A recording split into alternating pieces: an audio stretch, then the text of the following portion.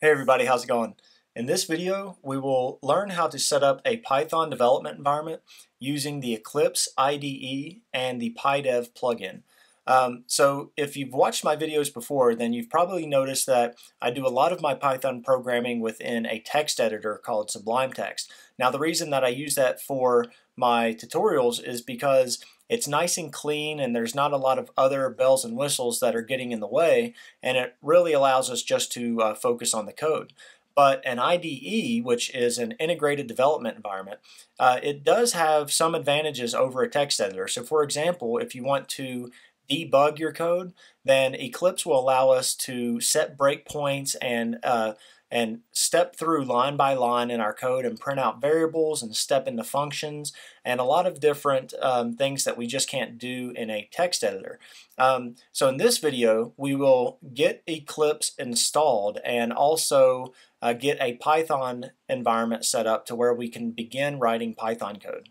So right now I'm over here on the Eclipse website and um, so the first thing that we're going to do is install this Eclipse installer. So let's go ahead, I'm on a Mac so I'm going to download this Eclipse installer. It's going to take us to the, uh, another download page here and I'm just going to click this download link here and it will take you to a, a, donation page. Eclipse is open source software, so if you have the money to make a donation, then I'm sure they'd appreciate it.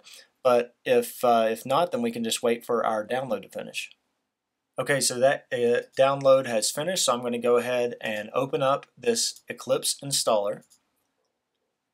Okay, now first thing when you open up the Eclipse installer, uh, right off the bat you might see this over here that says that it needs an update. So let's go ahead and run that update and it'll restart the installer for us. Okay, so now we've restarted that installer. Now this is the point where some people get confused because there's not a specific version of Eclipse just for Python right out of the box. So you can see here that we have an Eclipse IDE for Java developers, for C and C++, PHP, um, and all these different things. Now a lot of people will just download the Java developers version and then add in all the Python stuff after that on their own. Um, and it does come with some uh, it already does come with a Git client and the marketplace and things like that. Um, but really, I uh, don't like that extra overhead. So kind of what I like to start with whenever I'm doing Python development is just to start with the Eclipse platform. And you can see here that it says that this package contains the absolute minimal IDE, suitable only as a base for installing other tools. Um, and that's what we want to do. We're going to install a Python um, environment on top of this. So I'm going to go ahead and choose that platform. And you can choose the Java version if you'd like, and everything will still work just fine. Um, uh, but now that we're in here, I'm just going to accept these defaults. It's going to install the Java JVM and then the installation folder, you can choose where it installs Eclipse. So I'm just going to choose install here and let this finish. Now once this finishes here, I'm just going to go ahead and launch this. And when it first pops up, it may ask us a couple of things. So for example, it's going to ask us, ask us to select a workspace, and this is where it will uh, put all of our projects and files. So I'm just going to accept this default location here. And so now we have a new version of Eclipse here. So I'm just going to uh, maximize this and then I'm going to click on go to workbench here. Okay, so now that we're within here, uh, now we want to install PyDev. PyDev is a plugin which will allow us to do Python development. Um, so for example, right now, right out of the box, if we go up here and go File, New, Project, you can see here that all we have is this general project here. There's nothing that is Python specific. So to fix this, let's go to Help, and we want to install new software. Now the new software that I'm going to install is one called Marketplace. Um, now this is something that uh, allows us to install uh, things in the future a little bit more easily. Now Marketplace comes installed already if you were to choose the Java version, but from where we started from just the bare minimum Eclipse platform, uh, we need to install the Marketplace. So I'm just going to choose all available sites here for what to work with. And then I'm just going to search for Market, and it should find that for us. So it's here under General Purpose Tools, Marketplace Client. So I'm going to go ahead and choose that. and then walk through this installation process and go ahead and accept these terms and choose all the defaults. So now it is installed and it says that we need to restart Eclipse. That's probably going to happen a few times while we're doing this. So let's go ahead and do that. So now that we have restarted Eclipse, we should have the uh, marketplace installed. So now if we click on help, instead of going to install new software, let's go ahead and click on this Eclipse marketplace. Now the marketplace is just a more visually appealing uh, area to download new software rather than the um, uh, where we were before where we had to manually look through all those different sites for the marketplace and things like that. Uh, so what we want to install here in the marketplace is PyDev. Now we can either search for it, uh, but it's also very popular. So we just if we just click on this popular tab, then it should just be the third or fourth one down from the bottom. And you can see uh, you can also install whatever else you want here. You can see that there are some color themes, uh, some ways to integrate Eclipse with Subversion. Um, so if we scroll down here, uh, you can see that PyDev, I think it was like the fifth one down, uh, so we can just click install here and it's going to tell us uh, all the things that we need to install with this. So let's go ahead and click confirm and let this run through. Now I'm going to go ahead and accept these terms and click finish. And now this may take a while to install here. I'm going to go ahead and trust these certificates and click OK. Now once that is finished installing, then we'll have to restart Eclipse again. So let's go ahead and do that. Okay, so now we have PyDev installed, so we should be able to go to File, New Project like we did before, but now instead of just General here, we have this PyDev option. And if we um, go down in, into here, we can see that we can make a Django project, we can make a Google, Google App Engine project, or just a PyDev project. And this is just for your regular Python projects. So I'm going to choose PyDev project and click Next. And then I'm just going to call this project name uh, demo underscore project. And then we can choose use all of the defaults here. You can see that it's going to put it into our workspace here. We can choose our Python version that we want to use. I'm just going to leave it at 2.7. Now, it may choose an interpreter for you, but it may uh, say that you don't have an interpreter selected. So what I'm just going to do here is click on please configure an interpreter and just let it auto config. It's just going to choose my default Python interpreter. So that may have already selected the default interpreter for you, but if it didn't, then you can just click on uh, that link that I clicked on and uh, cl click on the quick auto configuration and it should set the default interpreter for you. So for everything else, I'm just going to leave the defaults and click finish. And now this is going to pop up and say that this kind of project is, an, is associated with the PyDev perspective. Do you want to open this perspective now? Uh, I'm just going to click on remember my decision and hit yes. And I usually recommend that you open up the PyDev perspective because um, it lays out all your windows here in the way that um, they believe is best for Python development. And if you don't entirely like the layout, then you can always customize it yourself later on. Um, so now we have this demo project here and I'm just going to right click on this demo project and go to new and now you can see that we have uh, file but instead of file I'm going to choose PyDev module. So now this is another case where an IDE kind of comes in handy over a, text editor because this can set up a lot of stuff for us. So for example, if I want to put my module directly inside of a package, so I can just do a test underscore package as the name of the package that I want to put it in. And you can see here it's going to say note package not found, which means it, it doesn't exist yet, and that they will create it for us. So now the name of my module, I'm just going to call this test module. And uh, I don't think you need to put the dot .py. Yeah, so it says that the name may not contain any dots. So it'll put the dot .py extension on for you. So just call it uh, test module or whatever you want to call it and click finish. And then it's going to uh, pop up with some preferences here and I'm just going to leave these defaults and click OK. And now it's going to ask us if we want to use a template. So uh, if we use the empty template, then it's just going to uh, put the, the timestamp at the top of the file.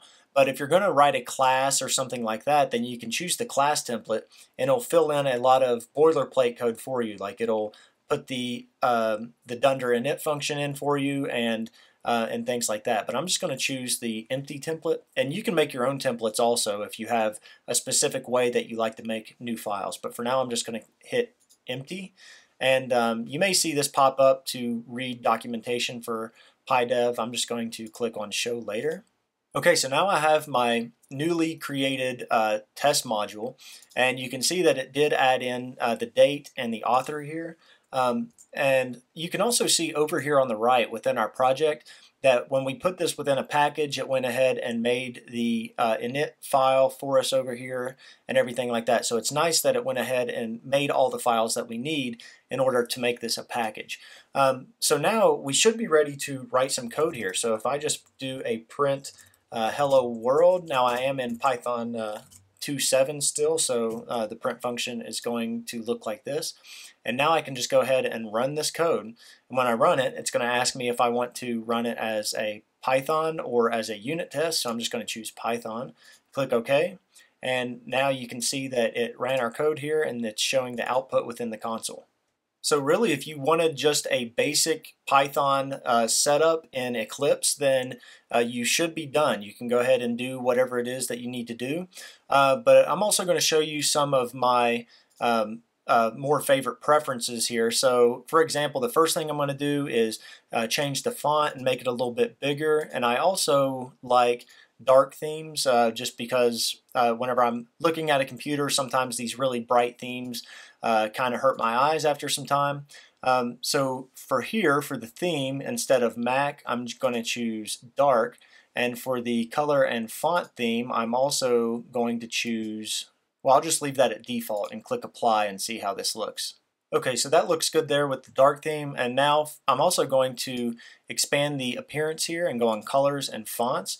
And for the basic font, which will control this font in here, um, I'm going to scroll down and the text font is what you want to change to change uh, the font within um, your source code editor here. So I'm going to edit this and I'm going to use uh, Source Code Pro and I'm going to set this just so you guys can see better. I'm going to choose size 18 for now and apply that and click OK.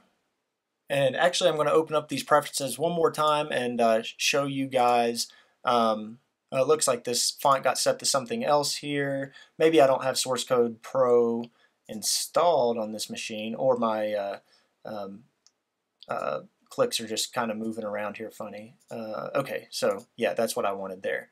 Now there are also some PyDev specific preferences that we can run. So if we look over here in the right, we have this PyDev option. So if I uh, expand this, then within Editor, I'm going to open this up. Now within here, you can specifically choose how you want uh, certain things to look as far as your decorators and numbers and things like that. Um, but really, uh, the one thing that I like to select whenever I uh, first um, install Eclipse is to go in here to code style and then code formatter. And I like to automatically set my code to be AutoPep 8 compliant. So I'm going to click this um, use AutoPep 8 for code formatting. Now, if there are any, I don't know, uh, you don't, if you don't know what AutoPep 8 is, it's not a big deal, but it's just a way to uh, kind of check your code for certain um, to make your code more consistent. And also, uh, if there's anything that you want to ignore with AutoPep8, you can look the, all these up online. Um, then you can put in your ignores here. So if there's certain errors that you want to skip over, then you can do this dash dash ignore uh, within here and set it up that way. Now I'm also going to click here on Save Actions, and uh, it says that the Apply Save Actions um, I'm going to do an auto format editor contents before saving.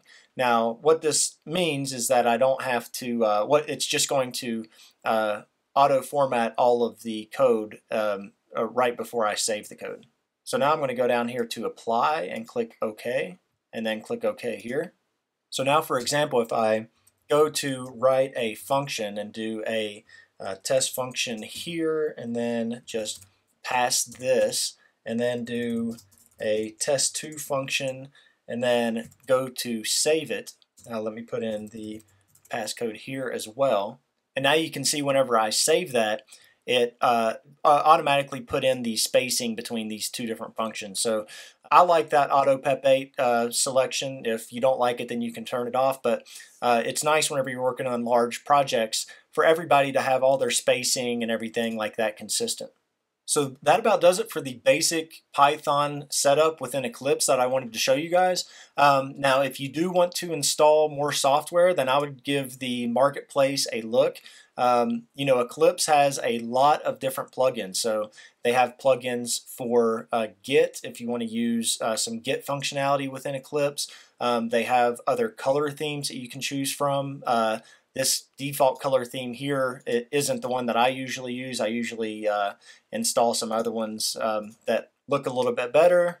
So if you want to look at any of those, then you can just uh, do a search here. If I just type in um, color, then some stuff will come back.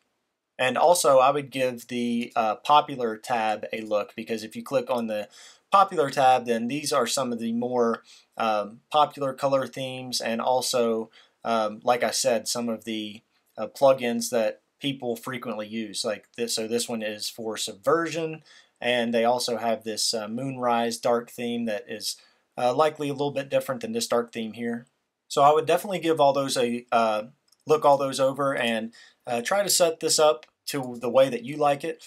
But that about does it for this video. Um, if you have any questions about this stuff, just ask in the comment section below. Uh, be sure to subscribe for future videos. I uh, maybe I'll make some videos on how to debug projects within Eclipse and things like that. So hopefully you all found this uh, video useful and thank you for watching.